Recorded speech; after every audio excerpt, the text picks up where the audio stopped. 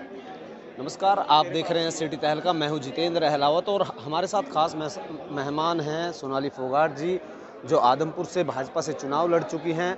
Star प्रचारक के तौर पर बड़ौदा उपचुनाव में यहाँ पहुँची हैं। किस तरह का, जो है, प्रचार यहाँ पर कर रहे हैं? इससे पहले यदि बात की जाए तो मुडलाना गाँव में एक महिला सम्मेलन हो रहा था। वहाँ पर भी वो पहुँची थी और इस चुनाव को किस नज़रिए से देखते हैं, उससे तमाम बातें जानकारी लेंगे।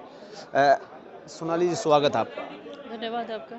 सोनाली जी बड़ौदा उपचुनाव में तमाम नेता हैं तमाम स्टार प्रचारक जो है यहाँ पर पहुँचे हैं। आप यहाँ पर घूमी हैं और कहाँ कहाँ पर आपकी ड्यूटियाँ लगाई गई थी और किस तरह से माहौल देखते हैं आप? बहुत ही अच्छा है माहौल। अभी एक महिला सम्मेलन था तो उसी गाँव से हम लोग आ रहे हैं तो वहाँ बहुत भारी संख्या में महिलाएँ पहुँची हुई थी पूरे हलके की महिलाएँ थी। और मातृशक्ति ने योगेश्वर दत्त को आशीर्वाद भी दिया है। और अभी दिवाली आने वाली है। तो वैसे भी दिवाली पे हम माँ लक्ष्मी का पूजन करते हैं और कमल के, का में वास करती है माँ लक्ष्मी। तो सारी महिलाएँ एक मैसेज देती हैं कि मातृशक्ति का आशीर्वाद जो है और माँ लक्ष्मी और दुर्गा के रूप में भाई योगेश्वर दत्त को आशीर्वाद मिला है। और विकास के नाम पे हर कोई वोट करने वाला है, क्योंकि दूसरी तरफ़ जो कांग्रेस का उम्मीदवार है, वो लोग जो पहले ही विकास नहीं करवा पाए तो अभी तो सरकार बीजेपी की है, बीजेपी, जेजेपी, गठबंधन में सरकार है तो यही एक चेहरा है योगेश्वर दत्त, जिसके माध्यम से इस हल्के का विकास हो सकता है। पार्ट टू चल रहा है। छठा साल यहाँ पर चल रहा है। तो ऐसे में सरकार पर भी सवाल उठते हैं। जब उन्होंने विकास नहीं करवाया तो आप कहाँ अछूते रह गए थे? जहाँ मुख्यमंत्री ये कहते हैं कि सबका साथ, सबका विकास और जो है सबका विश्वास लेकर के वो चाहे विपक्ष का नेता हो, विपक्ष का विधायक हो, तमाम जगह समान विकास कराने। लेकिन यहाँ फिर भी जो है पिछड़ा वर्ग क्यों है? पिछड़ा हल्का क्यों है? देखिए, ये बात आप हमेशा देखते हैं कि हमारे मुख्यमंत्री बड़ी ईमानदारी के साथ काम कर सकते हैं और विकास के नाम पे उन्होंने कहीं भेदभाव नहीं किया। कहीं भी चाहे हम हमारी तरफ़ की विधानसभाएँ ले लें, चाहे यहाँ की ले लें, कहीं भी भेदभाव नहीं है। उतना ही विकास और उतना ही खर्चा दूसरी विधानसभाओं पे किया जाता है जहाँ पे बीजेपी का विधायक नहीं है। और अभी तो साल भर से हम कोरोना की की, की महामारी का शिकार हुए हैं तो उस वजह से परेशानियाँ हमें हम सबको झेलनी पड़ी है।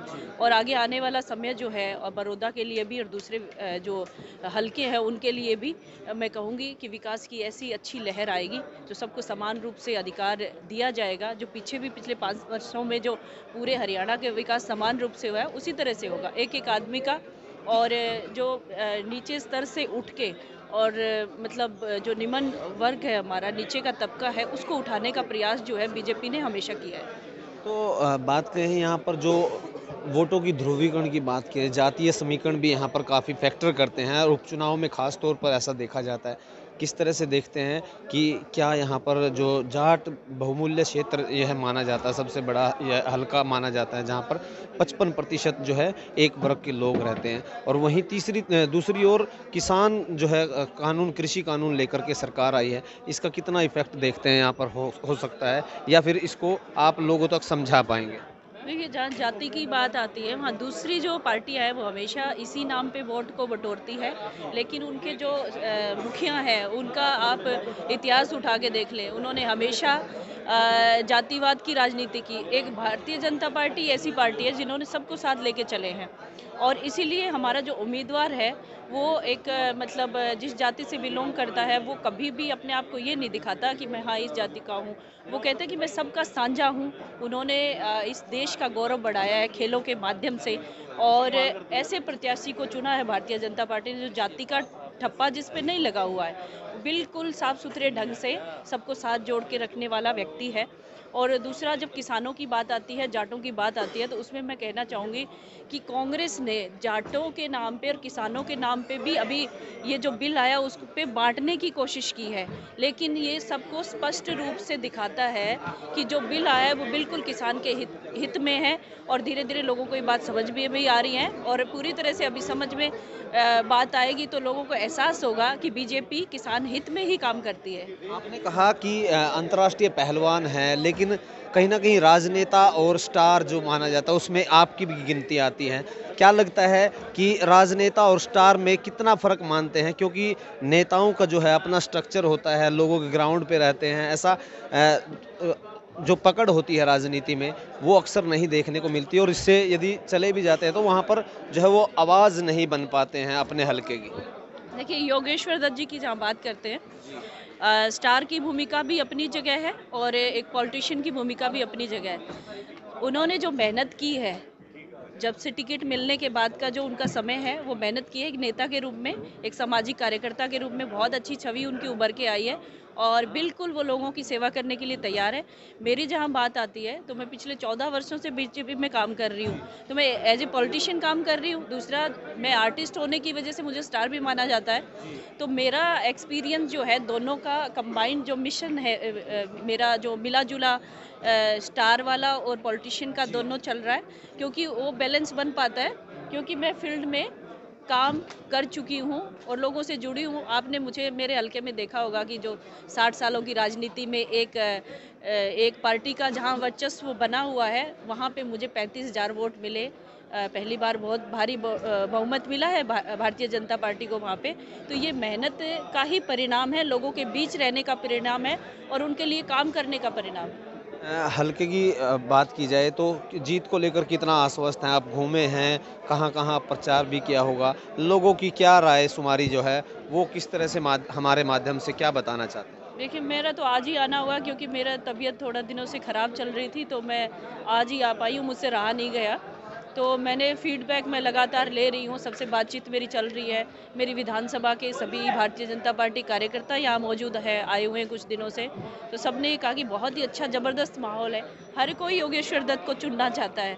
एक निष्पक्ष चुनाव चाहता है कि जो विकास करे जो बिना भेदभाव के चले वैसे व्यक्ति को चुनना वैसी पार्टी को चुनना सबकी प्रायोरिटी रहती है। और यही यहाँ के लोगों का आ, मुझे लगता है कि मन बन चुका है योगेश्वर दत्त के लिए। आखिरी सवाल आपके लिए व्यक्तिगत टिकटॉक स्टार भी आपको कहा जाता है आर्टिस्ट के साथ साथ। तो टिकटॉक जो है आपकी सरकार ने इसको बंद कर दिया है। अब कहाँ जो है अपना जो स्टार प्रचारक है वो किस तरह से स्ट्रक्चर कहाँ पर आपने तैयार किया है? फेसबुक इसके अलावा कौन सी सोशल मीडिया पर एक्टिव देखिए ये टिकटॉक का तो जो है चला था साल भर तक। उससे पहले भी हम सोशल मीडिया पे एक्टिव थे और आज भी सोशल मीडिया पे एक्टिव है इंस्टाग्राम के माध्यम से और फेसबुक के माध्यम से। मैं खाली फेसबुक के माध्यम से लोगों से इंट्रोड्यूस होती थी हमेशा। इंस्टाग्राम भी हमने अभी स्टार्ट किया और ट्विटर भी हमने अभी स्टार्ट किया चुनाव के दौरान। तो ये सब चीज़ें, ये माध्यम होता है लोगों तक अपनी बात पहुँचाने का। तो टिकटॉक के मोहताज नहीं है हम लोग। हिंदुस्तानी अपना जो चीज़ें हैं, खुद कर सकते हैं।